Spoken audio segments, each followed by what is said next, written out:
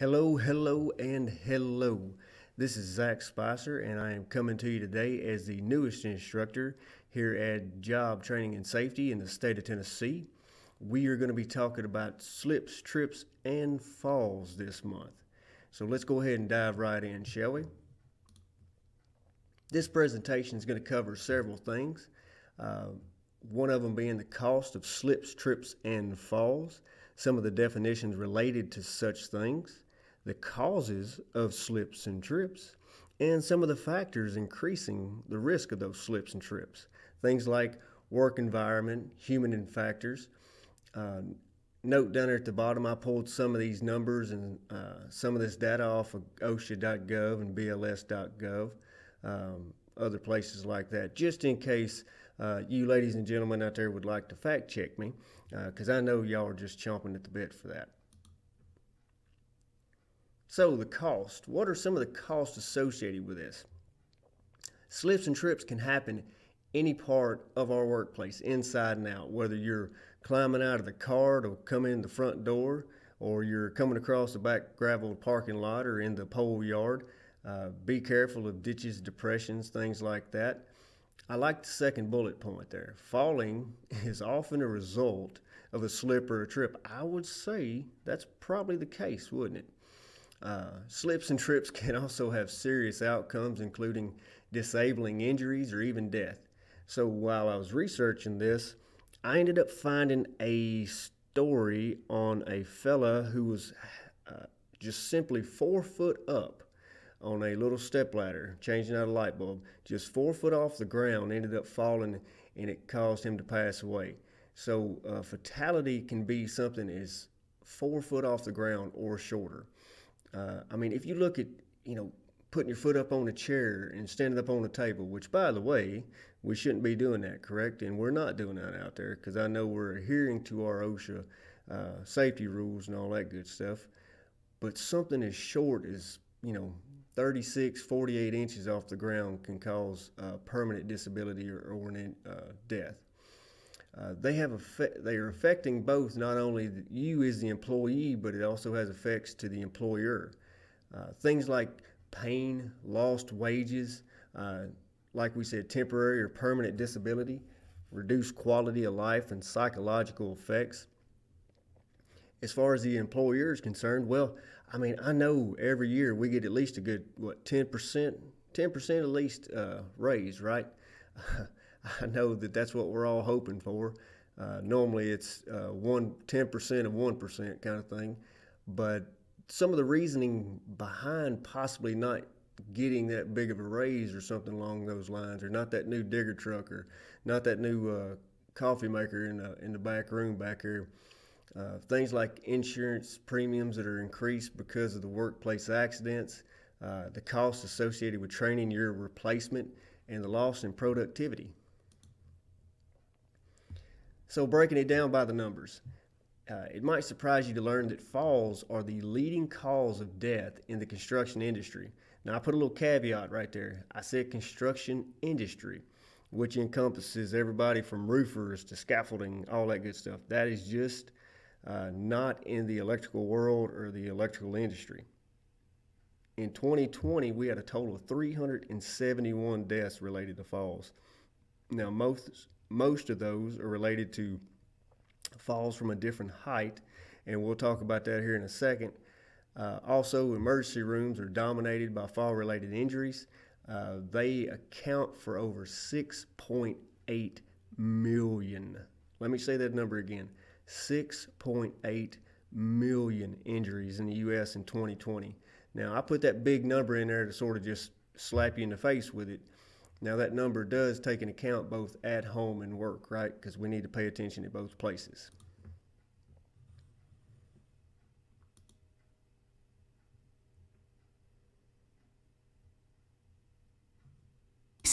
They happen to anyone, anywhere. Consider the most common of causes wet surfaces.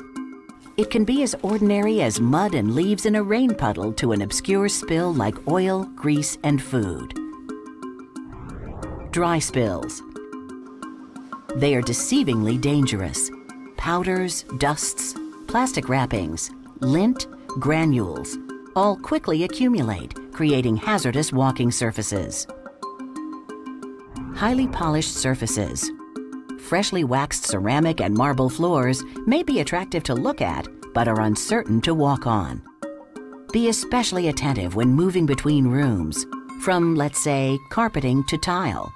The distinctly different floor textures can catch you off guard. Anything loose. Heads up for unstable floorboards and tiles, slick rugs and mats. These obstacles go largely unnoticed. Gravel walkways. Dirt, sand, and pebbles cleverly camouflage a smooth surface, making it tricky to maneuver. Debris and litter on walkways do the same thing. Sudden slopes. They can appear with no warning, bringing you down in a flash. Unmarked ramps. Gangplanks and loading docks often don't have skid-resistant surfaces, and those made of metal are particularly treacherous when wet. The smooth surface easily becomes slick as ice. Weather conditions. Rain, ice, snow, sleet. Inclement weather can be a force to be reckoned with. Special caution should be taken when working in these conditions. Constant climbing. Up and down, mounting and dismounting, scaling and descending. A missed hand grip here or a slippery rung there is a split second away from an accident. Common sense says, watch your step or you'll trip. But reality replies, sorry, too busy, too rushed. Remember Renee's trip? Her coworkers irresponsibly left out their tools, costing her dearly. Trailing cables and hoses, pallets and steel girders, loose wires and cords, open cabinets and desk drawers, the list is endless. All sorts of industrial supplies, tools, or machinery left unattended on walkways wreak havoc. Uneven flooring, deep cracks, gaping holes, curb drops, changes in floor elevation can all spearhead major trips and falls. Stairs, an obvious architectural necessity, all too often present a navigating nightmare. Neck and back trauma, the most common complaints after stairway falls, are the culprit or cause to many preventable disabling injuries. Yes, taking two or three steps at a time could be deadly. Clutter, a virtual breeding ground for catastrophes. Warehouse exits blocked by boxes. Workshop containers of chemical and waste materials unevenly stacked. Construction scaffolding piled high with building materials. All these scenarios make the workplace a hazardous haven for missteps and trips. Jay anxiously surveys the warehouse. Storage issues and delivery delays put Jay far behind his inventory schedule. With clipboard in hand, he hastily weaves his way through the shipments and pallets. Sorry to say, while Jay is schedule minded, he's safety blinded. His pathway is peppered with debris, then the inevitable trip. It's not uncommon to trip on loose materials, then fall head on into other objects like shelving or debris.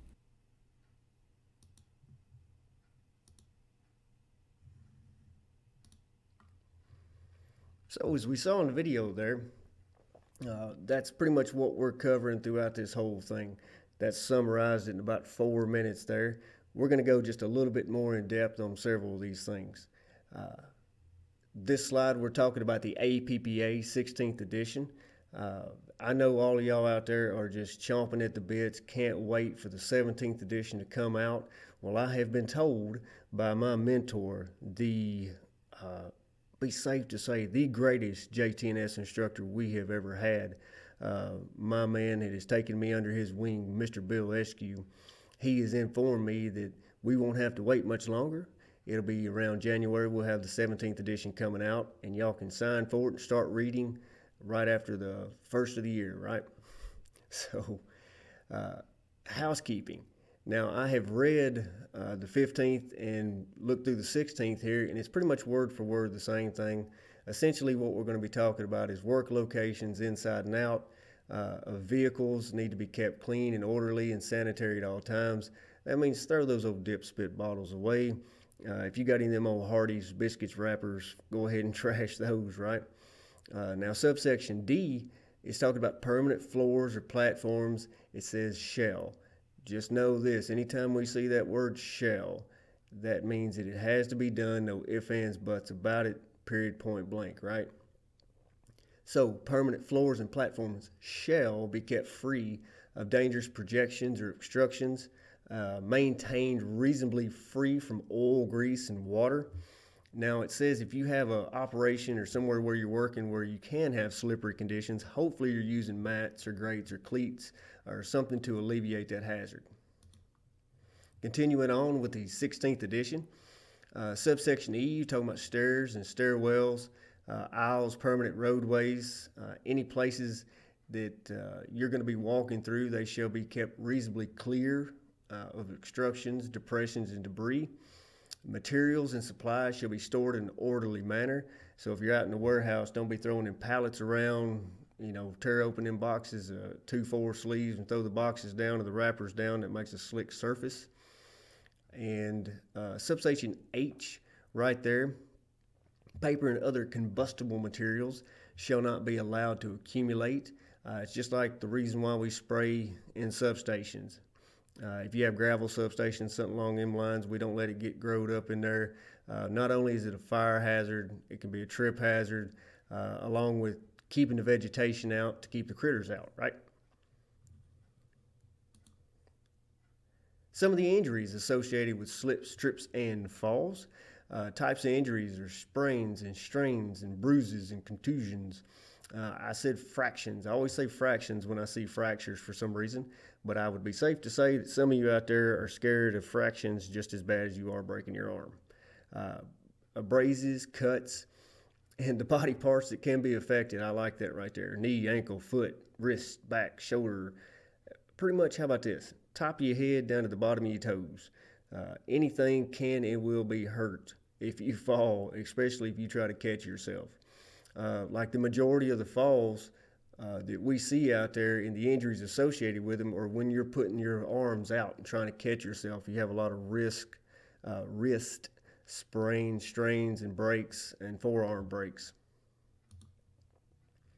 This right here is a uh, what we call a Fatal Facts uh, in the OSHA world, or um, what they're calling here at the NIOSH fatality, assessment and control evaluation.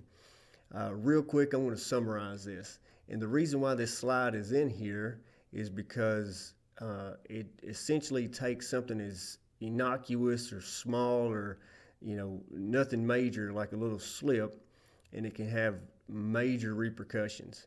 So, a 34 year old male uh, apprentice lineman uh, was electrocuted while assisting setting a wooden pole. Essentially, they had laid the wire out, uh, setting the pole up in there, and I hope, I really hope all you fellas out there and ladies out there setting poles that if you're working anything around energized lines, you're using your rubber gloves, you're keeping it at least a hand, uh, you know, arm's distance length from you. You're not getting your body against it. Uh, I put a couple different pictures in here uh, the first picture there, you can see one fellow on the back side of the pole, and he's essentially bear hugging it. That right there is just that's that's the wrong way to do it. Uh, but to get back on topic, uh, the fellow was trying to help guide the pole into the hole. The ground was wet, slippery. So while he was pushing it over there, he ended up slipping, making contact with the pole with his body, which in turn hit the phase up there. It ended up coming down the pole, went entered his chest, I believe, and exited uh, to the ground through his right elbow. They ended up doing CPR. Uh, he ended up passing away uh, because of that. Uh, something as small as a trip or a slip, right? Uh, so we got to be doing all the right things in the right way because if one little hiccup happens, you possibly want to have every other thing that you have done right to still save your behind. Here's some definitions, real quick, of slips, trips, and falls. So, uh, when there is too little friction or traction between your feet uh, or footwear and the walking surface, I can tell you this uh, friction, right? You would think that friction itself uh, itself would help out, but you can actually have too much friction. uh, sort of like a sticky surface on the ground or something like that. If you've ever been walking and something all of a sudden catches your foot, slows you down, uh, messes your pace up. Uh, so be careful of that.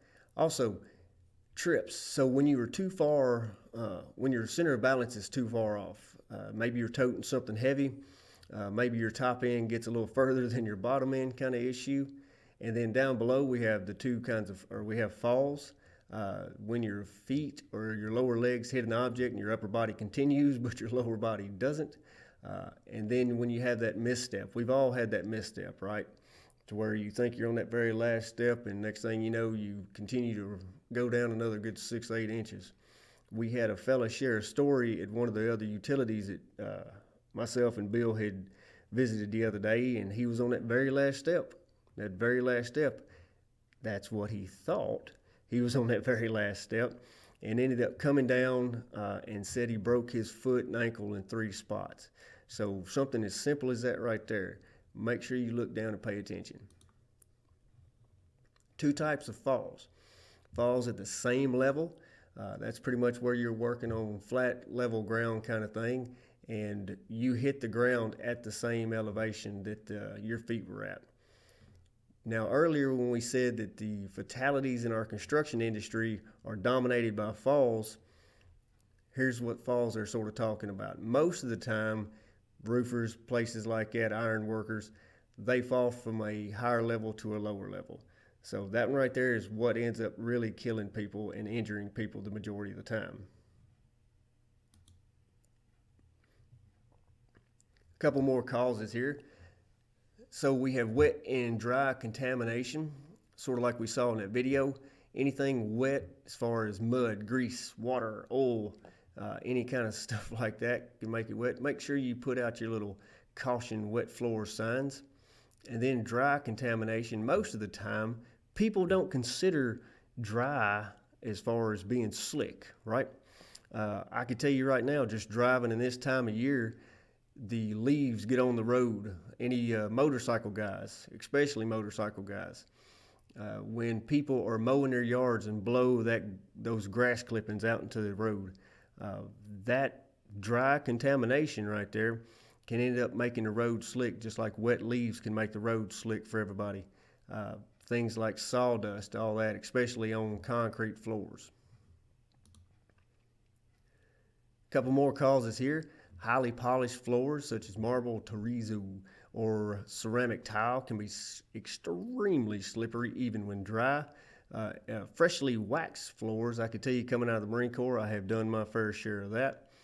Uh, also, transitioning from one floor to the other, i.e., going from your hardwood floor to your carpet or something like that, there's a different uh, friction cohesive which means that now your foot might slide a little further. Next step is going to slide a little less, meaning you've got to account for that and you've got to adjust.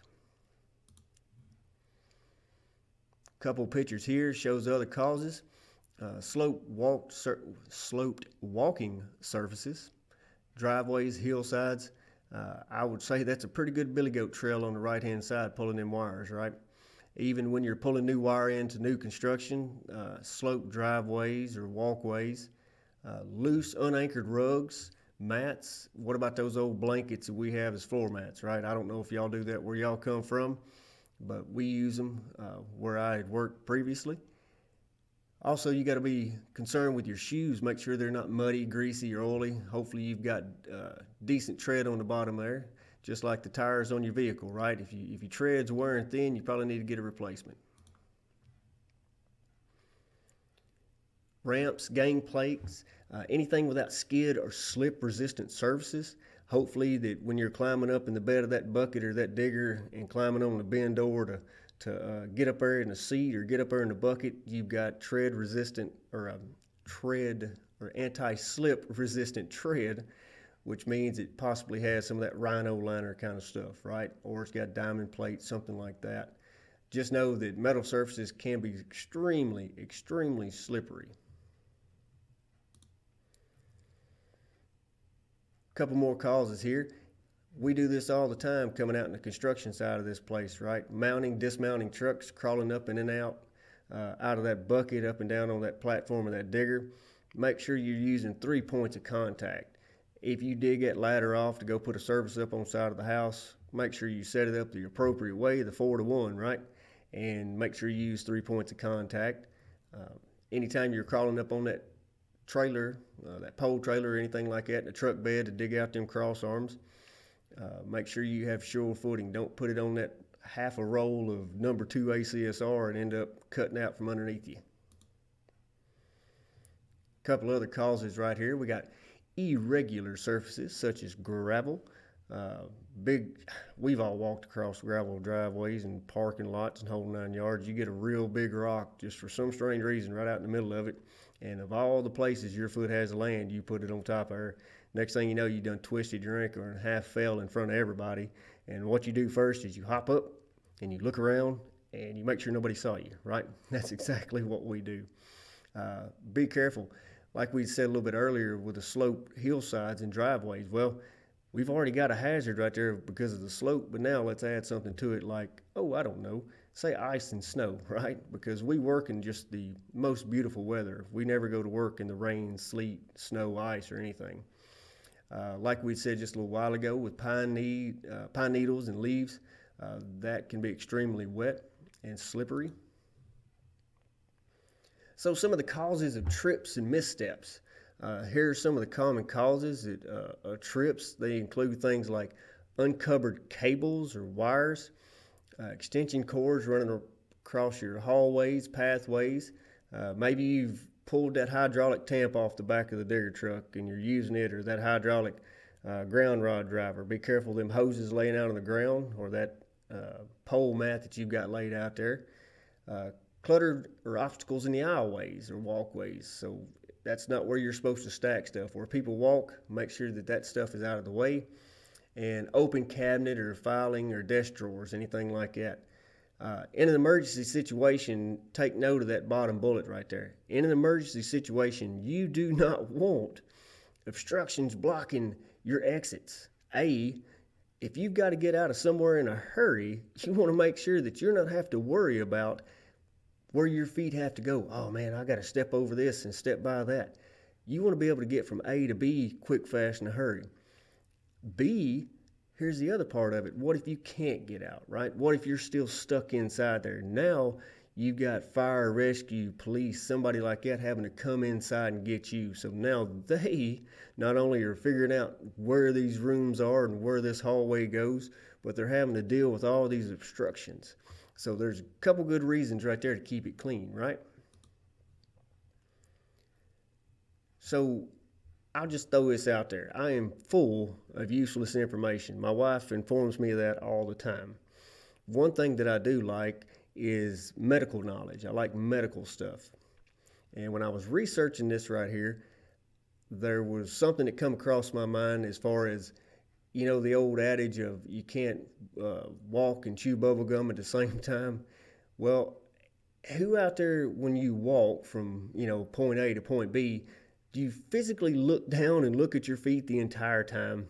Now, most of the time you're talking to your buddy, you're on your phone, you're tick-tocking or whatever. You're not really looking down at your feet. Well, your brain does this real cool thing. It's called proprioception.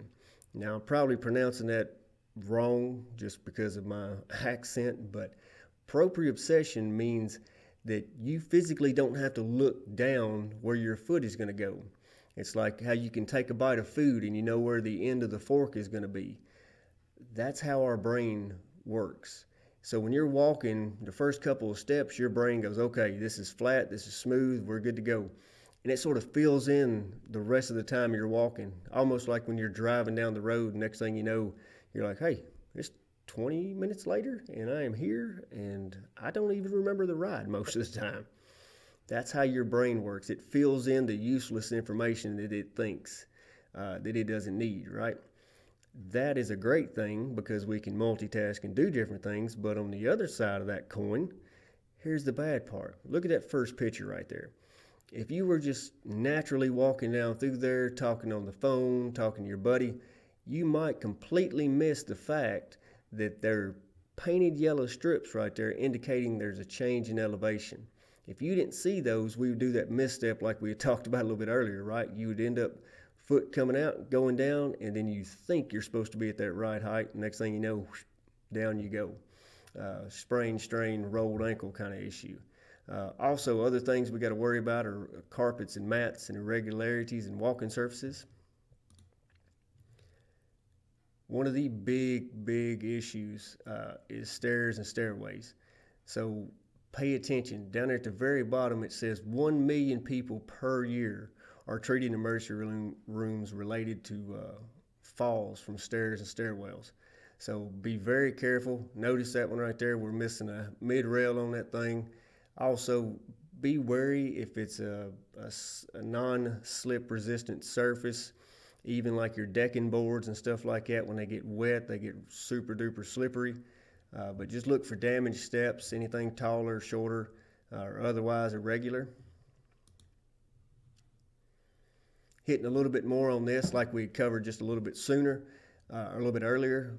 Uh, anything like debris, accumulated waste, uh, there we go again with the cables and the pallets and the tools and the walkways. Anything sticking out to the walkways. Like we said a couple slides before with the sidewalk and the curb drops, look for uh, uneven sidewalks or where it hits the parking lot. And a good transition right into parking lots, right? Even getting from your vehicle to the front door or to the warehouse has its own set of hazards i.e., look at the unmarked elevation changes, right? Your curbs, your speed bumps. I know we would take and throw down uh, old cross arms, that'd be our backing spots, right? So that's where we would run up to and uh, stop and back at. Other risks that might also uh, increase your slips and falls, uh, conditions or situations that make it difficult to see potential hazards. Uh, if you look at that center picture right there, it's hard to see that fellow back there. I was standing in front of you. I'd probably ask a quick question like, "Hey, do we see a problem here?" And I know that you smart, astute guys that aren't asleep by now would say, "Hey, you probably needs a little bit of lighting right there. Flip a light switch on. Hopefully, get your flashlight out." Uh, other things like shadows, maybe even bulk, uh, bulky or awkward PPE. Uh, you don't have to have a face mask or a respirator on we've all been through the COVID thing. Even having a face mask and prescription glasses or uh, your safety glasses on out there, we're fogging them up, which can cause vision impairments. Some of the physical conditions that can affect uh, or increase the risk of slips and trips. Uh, things like our eyesight, right? If you wear prescription glasses or contacts, make sure you wear them, put them on. Uh, also, age, like I said earlier about my mentor and the greatest JTNS instructor that we've got here, Mr. Bill Eskew, Esquire. Uh, with age, you know, comes beauty, right? So, uh, Mr. Bill there, I'm not saying not a spring chicken or nothing, but with age, things happen like your uh, reaction time tends to slow down, your eyesight tends to degrade, your hearing degrades. And when you talk about hearing, then you get into inner ears. And when you talk about inner ears, then you're talking about things like your balance and stuff like that can be affected also.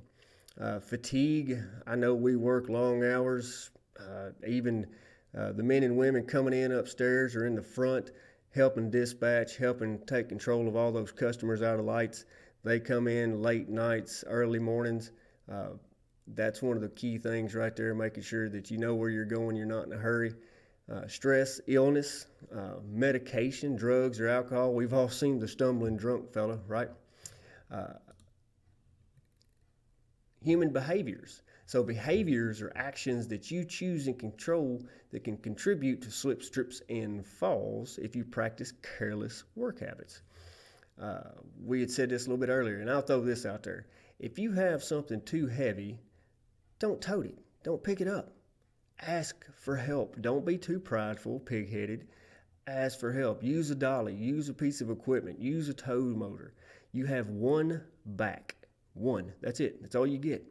And you want to take care of it. I promise you, you want to take care of it. So ask for help if you have something too big. Also, not only does it avoid a back injury, but if it's something too big and obscures your view, guess what? Now you might be thrown off balance. Next thing you know, you're face first in the parking lot or in the in the hallway, right? Uh, also, prevents you from holding on to handrails and things like that. Continuing on with our human factors, we got inattentive walking. Everybody, everybody is looking down, looking on that cell phone.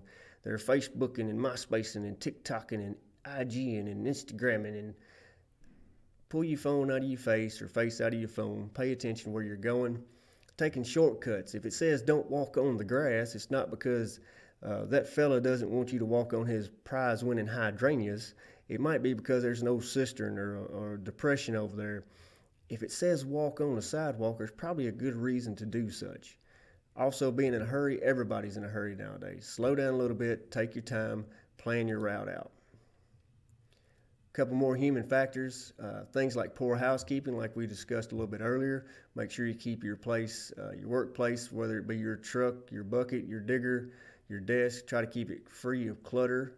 Also, don't use improper cleaning methods or materials, putting the wrong kind of wax or polish down. Uh, don't try to clean up grease with water.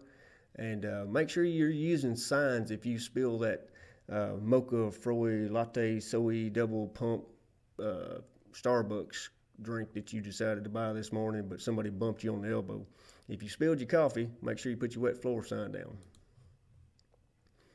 A couple more factors here footwear, taps on heels, because that's what we wear nowadays, right? Everybody sounds like they're coming, a herd of, herd of cattle coming down the road. Or things like slick, smooth, surfaced soles. That was very hard for me to do, I'm not going to lie. And things like high heels, fellas. Fellas, listen to me. Don't wear your high heels to work. I'm telling you, they're not ER or EH rated yet. They don't have composite toes yet. So leave them at home, wait till the weekend. Make sure that you avoid wearing footwear that's not suitable for your work environment. And last but not least, safety is everybody's business. However, uh, it's mandated that employers have responsibility to provide a safe work environment for all their employees, but you, as an employee, should strive to improve your own safety. Uh, so when I say that, things like reducing the risk of slipping on wet floors, well, guess what? If you ain't got to walk on a wet floor, don't walk on it. Pretty obvious. Reduce the risk right off the bat, right? But if you do, take your time, pay attention uh, where you're going, adjust your stride and pace. Uh, walking with your feet pointed out just a little bit, making wide turns. Also, some of the risk can be reduced uh, from uh, things like tripping. Always use installed light sources. Flip that light switch on. Uh, light switch on. Uh, if you don't have a light switch, guess what? Grab that flashlight. Grab that headlamp. Uh, use it when you're going into dark rooms. Also, ensuring that if you're toting anything or pushing anything, make sure that it's not in your way so you can't see where you're going. It's not only you're going to trip over something or possibly step in a puddle of hydraulic fluid or something along them lines and end up busting your behind. So that right there concludes our JT&S uh, slips, trips, and falls for the month of November. Uh, please feel free to reach out to us with any questions, comments, and or suggestions. I greatly appreciate your time today. Uh, this has been Zach Spicer, uh, the newest uh, JT&S member. Uh, look forward to meeting y'all out there, working with y'all, and like I said, give me a little time. I'll get under. I'll get this uh, safety thing under my feet. I come out of the line world and substation world, so I'm still new to this. But I greatly appreciate your time today and hope y'all stay safe out there.